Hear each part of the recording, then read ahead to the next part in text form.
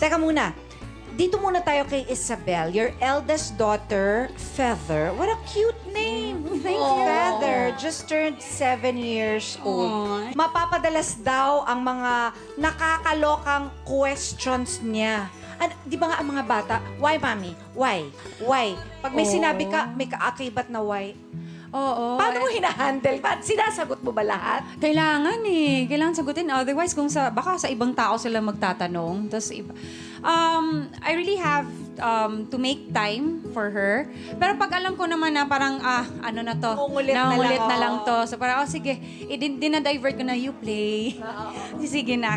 Parang, tas ano lang sila, napansin ko lang sa mga bata ngayon, sobrang, um, parang mature.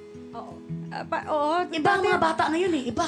Oo. Nag, paano nung mga hanggang 10, oh, naglalaro pa ako, Ako ng Barbie? eh, oo. Sila talagang may mga tanong sila na, Huy, bakit mo tinanong yan? No? Oo, may mga questions lately si Feather. Like, ewan ko, parang it was so innocent naman. Ang sabi niya, Mommy, um, what age kaya ako pwedeng, parang, pwedeng magka-boyfriend?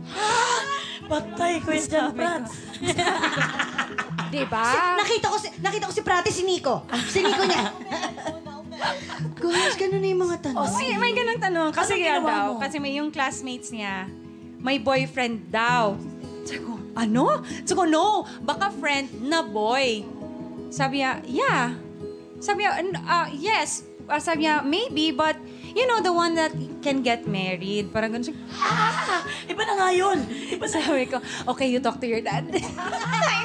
Pinapasa talaga natin sa mga popshi. Pinapasa natin kasi parang hindi na natin kaya. Parang to the rest Sabi ko, hindi ko kaya. Sabi ko, pero sinagot ko si ko, um, when you finish, you go to your studies again. Sabi niya, I'm just asking, I, I don't wanna get married, ah. I'm just asking. We're talking kasi mga friends ko, eh, na when we get married, ganun. Sabi ko, hala, ba't ganun?